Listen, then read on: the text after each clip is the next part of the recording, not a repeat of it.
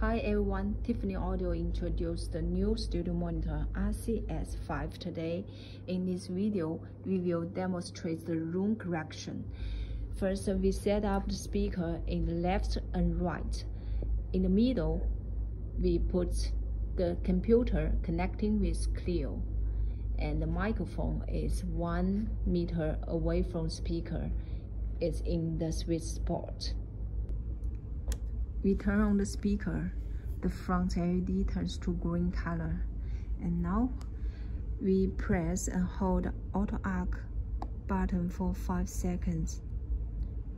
It generates a tune so we can sweep the plot before carrying out the room correction. We plug in the microphone arc cable Press and hold auto arc button for 5 seconds.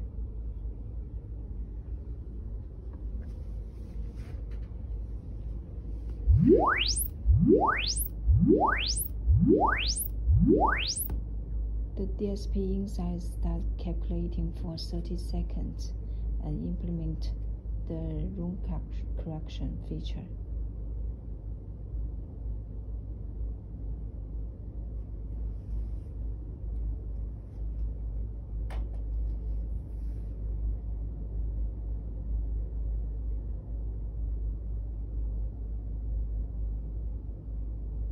Now the LED turns to green. The correction finished. So here we can see the new plot comparison. Thank you.